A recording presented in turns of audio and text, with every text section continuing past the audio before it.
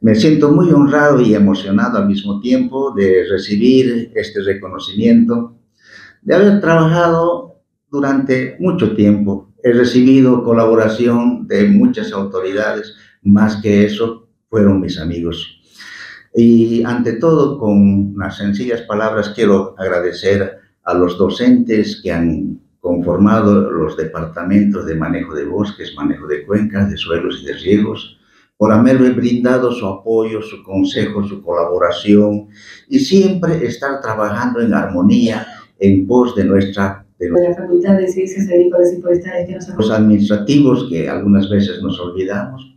No quiero decir nombres por temor de olvidarme de uno de ellos, pero después de ser eh, compañeros de trabajo hemos pasado a ser grandes amigos con muchos de ellos. A los estudiantes, por su consideración, por sus muestras de cariño, por su respeto, y, también quiero hacer un, un homenaje a los amigos, a los colegas, a los profesores que ya no están con nosotros, pero sí están sus familiares, que también manifiesto que en su momento hemos trabajado mucho y también muchísimas gracias.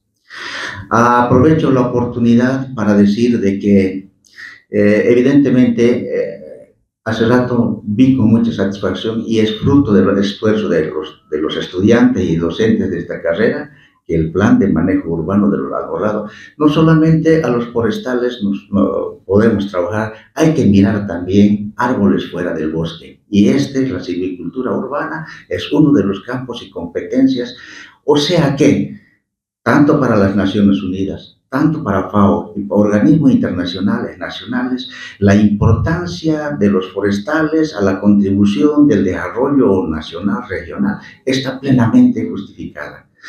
Se encierran ciclos y se nuevan, abren. Entonces esperamos ahora con la juventud de la nueva administración, con el empeño, con el esfuerzo y con la experiencia de aquellos que tenemos ya la cabeza con nieve, entonces seguramente vamos a llevar la carrera siempre a los sitios donde corresponde.